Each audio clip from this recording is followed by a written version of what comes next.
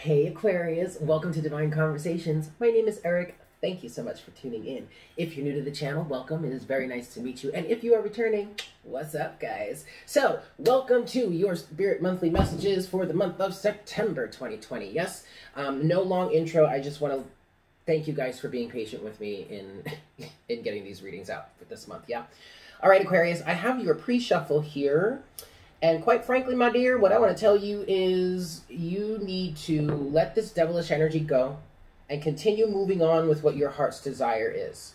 You have the devil with the Knight of Cups, the Six of Swords, and the Seven of Wands, with the King of Wands at the bottom of the deck, and then the Ace of Pentacles under that. So, uh, honestly, Aquarius, honestly, I just want to tell you to move forward with your heart's desire, regardless of what someone else might say about it, or regardless of how someone else may react towards it.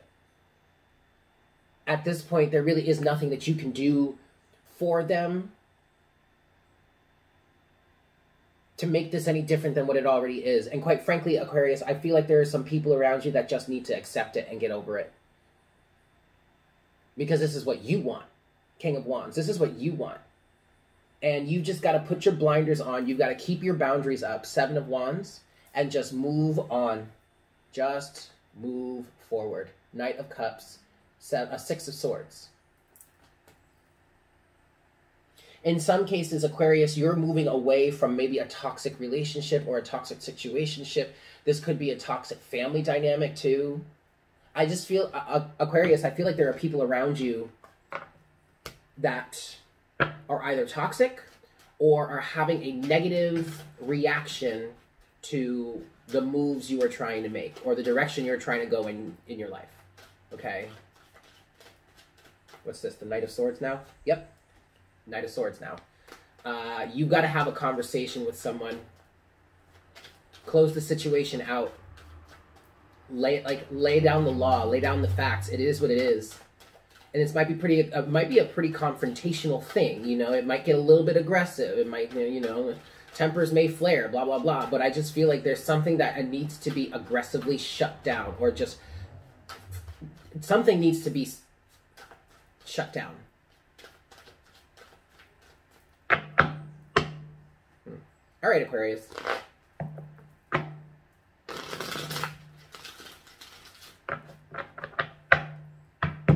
Here we go.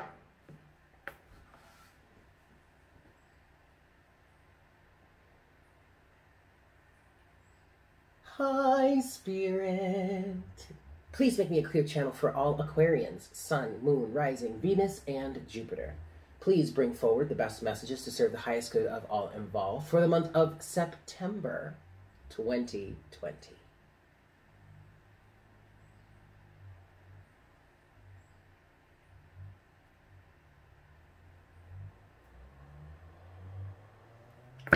Thank you so much, Spirit. All right, kids, five shuffles. Let's see what we got here. One.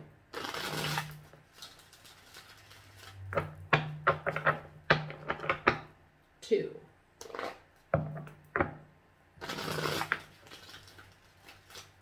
For my Aquarians, Sun, Moon, Rising, Venus, and Jupiter, this is three.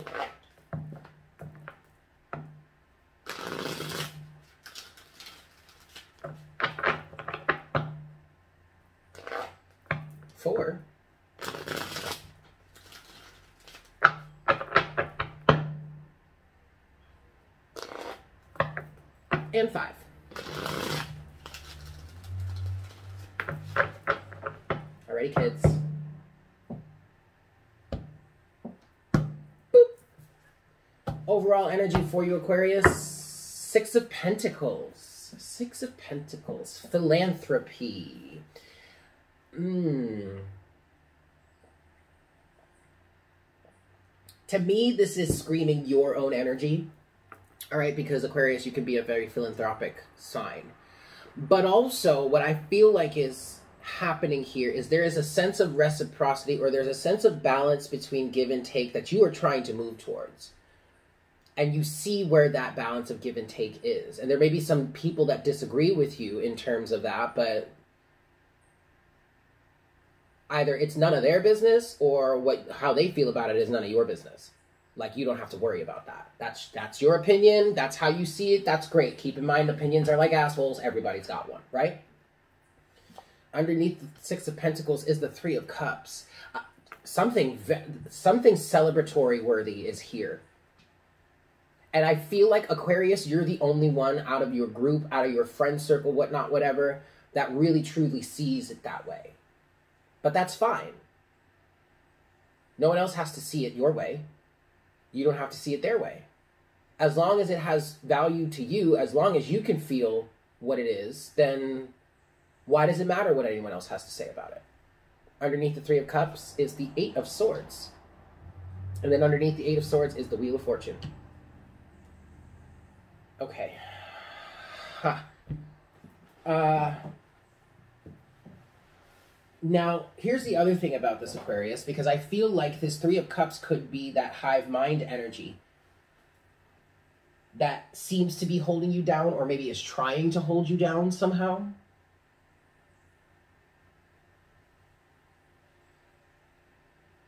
But also, also, I, I maybe that that might be more for the past because I feel like with this Eight of Swords, I really do feel like you have broken out of something, some, some sort of jail. I don't know, if, a mental prison. I don't know if you were actually in prison, okay, but you've gotten out of that mental state, that mental space, that situation. And your destiny is changing, or the, the cycle is changing, the karma is changing. You've gotten off that karmic hamster wheel. Maybe you finally learned what reciprocity really truly means to you, and now you're taking action steps towards receiving or achieving that. That's interesting because that's a strong thing that just came through. This could be a situation in which you really have learned what reciprocity would mean for you. And now you're taking the action steps to change your reality in order to receive that. Wheel of Fortune. Okay. So let's get into the rest of this here. First set of surrounding energies in the first half of your reading. You have oop, the lovers. We could be talking about love we could be talking about a counterpart situation. I did just hear that. Um, but also the lovers is about a choice. And and quite frankly aquarius i feel like you are making a choice that is for your highest good. And there could be some people around you that are like no we don't agree with this choice. We don't think you should do that. And it's like okay thanks for your input. Didn't i don't i don't really remember asking for it but thanks. Anyway the lovers is coupled with ah well, well, here you are, Aquarius, the King of Swords. And actually, and and see, but this is why this is why some other people don't quite understand or maybe don't quite agree, because you are it. You are in it. Okay, this is your life. You've been in it for X amount of time. And sure, there may have been some people around you that were there with you for most, if not all of that time. But the thing about it is, even though they think they know you, or they can say they know you on a certain level, and they could say they know what you want, or they can say they know how you're thinking, they don't really. They don't. No one really truly knows anything external to them. Like a mother can't even really fully 100% know their own child, her own child. Even though she gave birth to him or her, even though she raised him or her that that is still an individual with things within them that only they know about themselves right well in this situation aquarius you see whatever choice it is that you have to make or that you have made or whatever direction you want to go in you see it quite clearly for what it is and you see the value in it for your own self that doesn't mean that doesn't mean other people around you are going to see it but that also doesn't mean that they have to see it in order for you to make this decision or for in order for you to go in this direction. Okay? Second set of surrounding energies for you, Aquarius, we have, okay, the Ace of Pentacles. Very good. You have a brand new opportunity here, and I really do feel like you're taking it. You're taking action steps to plant the seed. I like that. I like that, Aquarius. Ace of Pentacles is coupled with, ah, the Five of Cups.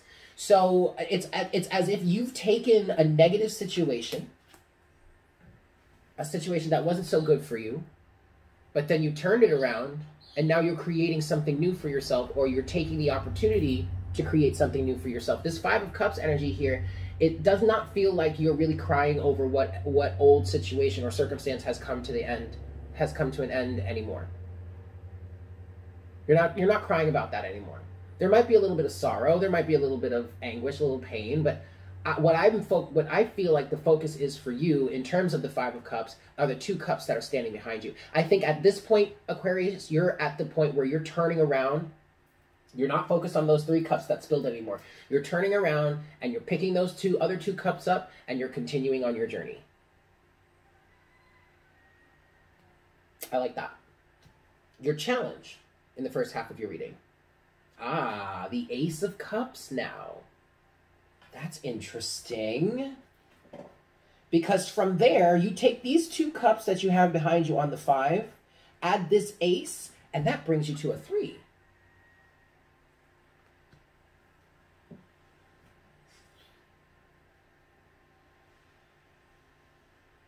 I think this Ace of Cups is an offer of love.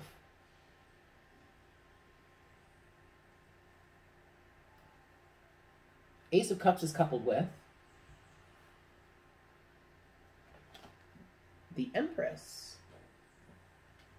Okay, so this is a, is you could face a challenge of offering a cup of love to a feminine figure, someone that maybe uh, uh, someone that maybe represents the divine feminine to your divine masculine, or or the feminine to your masculine. Whether whether you want to put divine in front of it or not, I don't give a shit. okay, um, your challenge could be to be offering this cup of love to this individual. But also, the challenge here for you, Aquarius, could be, and this is a little strange. This doesn't feel like it fully fits, but maybe it's a. Well, maybe you'll understand what it means for yourself. This is a general reading, but maybe this is just for a small amount of you. But your challenge right now is to hold unconditional ah is to hold unconditional love for yourself and in holding unconditional love for yourself, that will give you the upper, the strength, the wherewithal that you need to make this decision, stick with this decision, and not let anyone deter you because you see this opportunity for exactly what it is, Aquarius. No one else sees it like you do, and no one else has to because it's not their opportunity, it's yours. I just heard, so take that and run with it. okay. Your uh, the closing message or potential outcome here for you, Aquarius, in the first half of your reading. Ah, the star. That's you, Aquarius. So you've shown up twice in your reading, right? Yeah, the star is Aquarius. Uh, what I want to say with this, Aquarius, is dreams do come true. You just have to follow your intuition and not let the naysayers stay, hold you back the star is coupled with, oh, the Queen of Cups. How do you feel about it, Aquarius? All right, all right, cool. Drop all this madness about what everybody else is telling you about how to feel in this situation or how to act in this situation or how to work in this situation. What do you feel about it? What do you want to do about it? How do you want to engage with this? Queen of Cups. How do you feel about it? And if there are people around you that are saying to you, man or girl, this is a bad idea, blah, blah, blah, blah, I don't know why you think you're doing this, but hey, like, whatever, it's not my issue, it's not my life, it's not my problem. No, you're right, it's not. And quite frankly, I feel much different about it than you. So I'm going to go by my intuition. But thank you for your input.